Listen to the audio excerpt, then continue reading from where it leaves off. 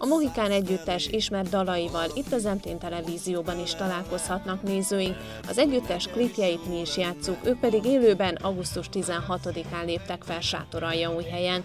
A járvány idején ők is interneten tartották a kapcsolatot a közönséggel, hol dalaik prózai bemutatásával, hol az együttesről szóló dokumentumfilmmel jelentkeztek. Végső célunk természetesen, mint minden zenésznek az, hogy színpadra állhassunk és a közönséggel közvetlenül tudjunk kontaktálni és élőben el tudjuk játszani a a dalainkat, de nem panaszkodunk, én azt gondolom, hogy nem álltunk be a siránkozók sorába, hanem, hanem ezzel a pandémiás időszak alatt is teljesen kreatívan próbáltuk hasznosan elütni az időt, tehát elkészült a saját gyártású dokumentumfilm, talán ezt mondtam az előző interjúban, de színészbarátainkat kértük meg arra, hogy dalszövegeket szavaljanak el, erre nagyon kíváncsiak voltunk, hogy dallam nélkül hogy állják meg a helyüket ezek a sorok, úgyhogy dolgozunk, készülnek a dalok, nem sokára stúdióba vonulunk, és, és remélhetőleg, hogy hamarosan a harmadik Mohikán ez megszületik, illetve már megszületett, csak még fizikai formájában nincsenek készen a dalok. A Mohikán együttes megalakulásának évében 2015-ben jött ki az első Hova száll a pipából a füst című lemeze,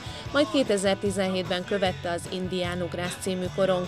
Köszönjük szépen, ez lesz a következő lemezük címe. Ennek előfutárai a Valaki és az Aki bújt, aki nem című dalok.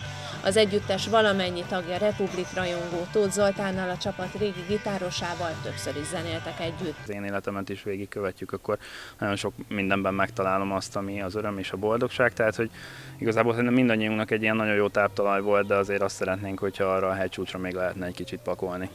A Mohikán együttes a kitartó rajongókkal együtt esőben is kiváló hangulatot teremtett, aki maradt, jól szórakozott.